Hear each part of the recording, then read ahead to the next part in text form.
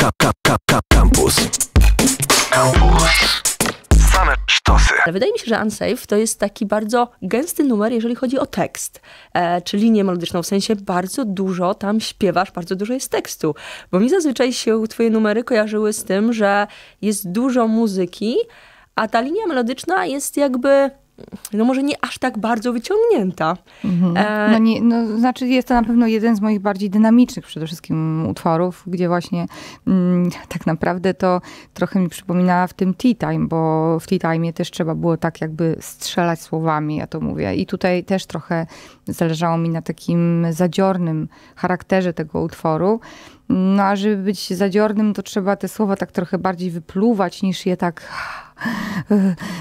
wydyszeć. W związku z tym rzeczywiście, rzeczywiście ten, ten tekst jest tutaj y, gęsty. Mm, Bardzo szybko w ogóle ta melodia powstała. Y, Chłopcy z duetu Sampler Orchestra z, zaproponowali mi ten pomysł. I ja właściwie stanęłam przed mikrofonem i praktycznie zaśpiewałam tą melodię. Tak po prostu. Ona przyszła samoistnie pod wpływem tego podkładu. Mm, Natomiast tekst, y, no też chyba w związku z takim bardziej zadziornym charakterem, też y, w sposób taki naturalny wypłynął. Hmm, no nie chciałabym mówić, że y, no tam jest oczywiście przekaz, ale ten przekaz jest taki dosyć prosty i dosyć, dosyć uniwersalny, więc też nie chciałabym z tego robić jakiegoś protest songu. Natomiast to są jakby kwestie, w których, których każdy gdzieś tam odnajdzie to, czym sam się zamartwia na co dzień, tak w to, tak w to wierzę. W teledysku troszkę to ułatwiamy, podając po prostu fragmenty, najważniejsze fragmenty y, tego, tego tekstu. Więc y, cieszę się bardzo, bo nigdy nie miałam jeszcze piosenki o takiej tematyce. mm, No na przykład nic tam nie ma o miłości, nic w ogóle, o związkach y, damsko-męskich, tylko oczywiście jest skupienie na takiej ludzkiej kondycji i kondycji tego świata. E, I strasznie się z tego cieszę, że tak jakoś w dosyć łatwy sposób mi to przyszło. Mhm. A powiedziałeś, że każdy sobie, mm, tak powiem, ten przekaz gdzieś tam dopowie, odnajdzie.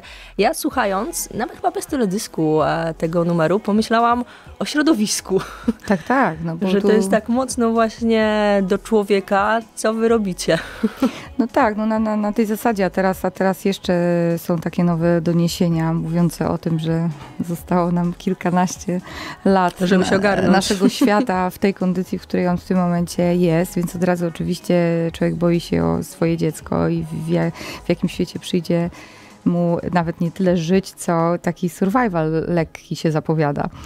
I, I są to rzeczy, które mnie. Hmm, no wiadomo, że codziennie nie biegam na demonstracje i nie, nie, nie wiem, nie przykuwam się łańcuchem do drzew. Yy, chociaż pewnie każdy z nas powinien. Ale to są rzeczy, które naprawdę mnie martwią no, w to sposób autentyczny i, i, i kiedy o tym czytam, no, no, no, oglądam filmy, to, to, to głos się, włos się trochę jeży na głowie i ta taka mm, taka niefrasobliwość, to znaczy takie po prostu brak takiej świadomości, że albo takie wyobrażenie sobie, że skoro teraz jest dobrze, no to jeszcze będzie tak sobie dobrze, to jakoś to tam będzie. Coś się ułoży. I, I naprawdę, no musi coś, coś, coś, coś mocno po prostu takiego, y, takiego bardzo złego, jakaś naprawdę po- potężna katastrofa się wydarzyć, żeby ludziom te oczy otwierać. To jest niesamowite, bo potem znowu się zapomina, potem znowu się coś wydarza i to jest tak, tak w kółko. I dopiero jak się wydarza, to się zastanawiają wszyscy, co, co, co z tym zrobić. No tak jak z naszym słynnym smogiem. A czy cała płyta mm, bez cukru będzie niosła właśnie jakiś taki, no właśnie powiedzmy, że przekaz, czy przypominała ludziom, żeby się ogarnęli? Hmm, nie. Muszę powiedzieć, że nie i że ten tytuł bez cukru mm, nie tylko odnosi się do tego, że, że, że to nasze życie jest często pozbawione cukru i nasz świat, tylko też trochę odnosi się do tego, że ja miałam dosyć takie. Mm, Wcześniej to miałam takie życie, dużo miałam farta i w ogóle wszystko było takie fajne, fajne, a te ostatnie lata nie były już takie wesołe u mnie. Dużo się pojawiło jakichś kłopotów, z którymi musiałam się zmagać. E, też wkracza się w ten wiek e, dla kobiety taki, no, pełen troszkę takiego, takiego niepokoju w ogóle, jak się, jak się odnajdę w tej nowej rzeczywistości, w takiej już bardzo dojrzałej. Trochę zaczyna się, zaczynają się problemy wychowawcze z dzieckiem i to wszystko razem. Możemy pogadać sobie. No, Miałam trochę młodsze. No właśnie. I to wszystko razem powodu, spowodowało u mnie w ogóle takie poczucie, kurczę, no taką byłam osobą radosną, wszystko się tak fajnie układało, to może teraz taką trzeba jakby odrobić, no, no że to tak, taka karma, no, że było tak fajnie, no to teraz przede mną, nie wiem, 20 lat ciężkich. Niefarta.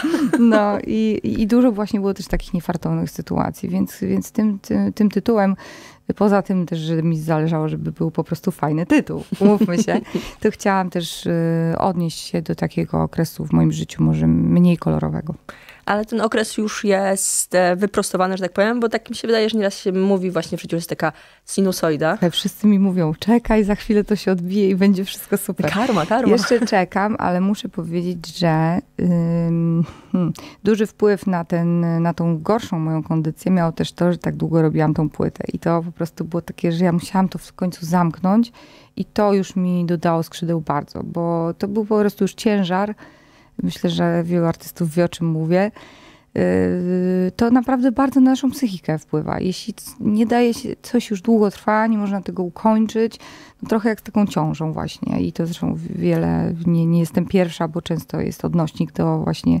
narodzin płyty jako narodziny takiego właśnie przenoszonego dziecka.